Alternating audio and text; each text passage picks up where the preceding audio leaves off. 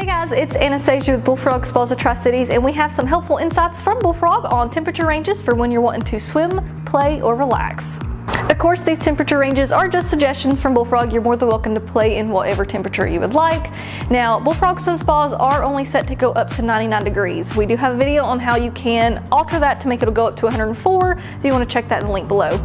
For swim workouts, most users prefer a lower setting between 78 to 82 degrees Fahrenheit.